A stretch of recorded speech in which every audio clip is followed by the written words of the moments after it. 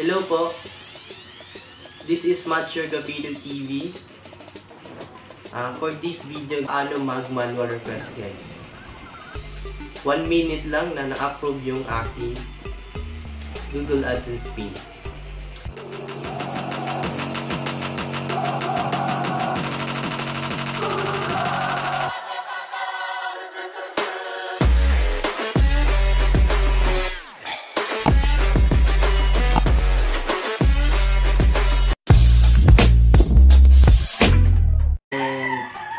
Welcome back to my channel po. Ah, for this video guys ay meron po akong i-share na na-verify ko na po yung Google AdSense pin ko po.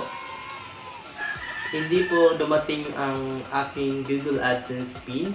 Nakatatlong request na po ako. Ah, mahigit 3 months na po na na-monetize yung channel ko po. So, nag-research ako kung paano mag-manual request.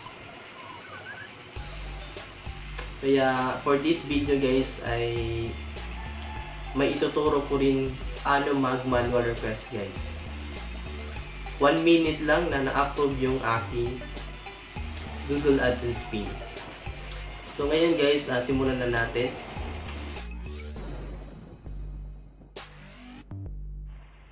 First, punta po muna tayo sa ating Google Chrome.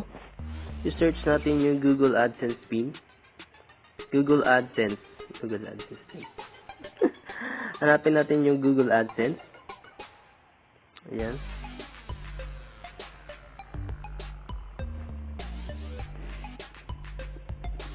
Wait lang tayo.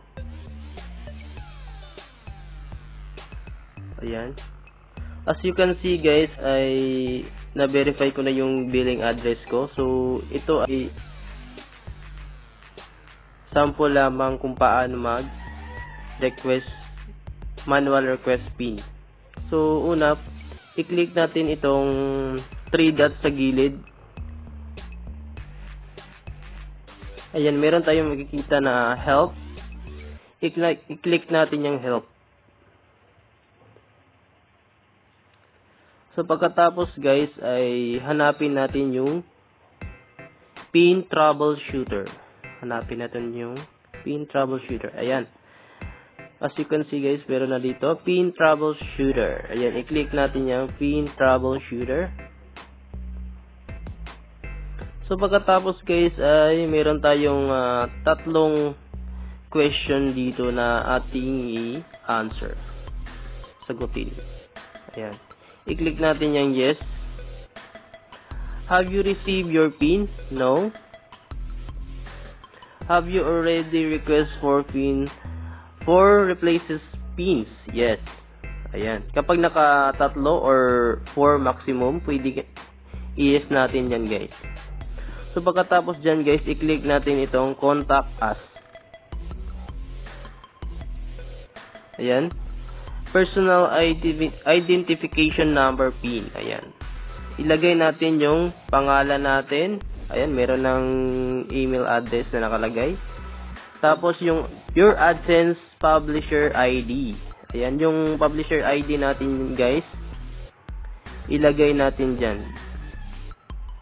So, pagkatapos natin ilagay ang publisher, submit an attachment Um, ang ilagay po natin dito guys ay government issued ID. Ang mga PhilHealth ID, SSID, passport, or UMID ID. Ang nilagay ko lang po dito ay ang aking PhilHealth ID guys. And pagkatapos nalagyan natin ng ating uh, ID, so isubmit lang natin guys. So, pagkatapos na mag-submit, mag-wait lang po tayo. Meron pong mag-email si Lolo sa ating Gmail account. So, punta tayo sa ating Gmail account.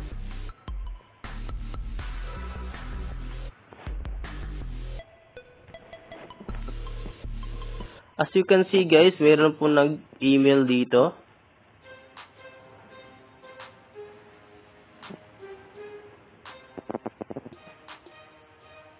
Ayan. Thanks for sending your proof of identity. I'm happy to let you know that this fulfill address verification requirement for AdSense. Ayan.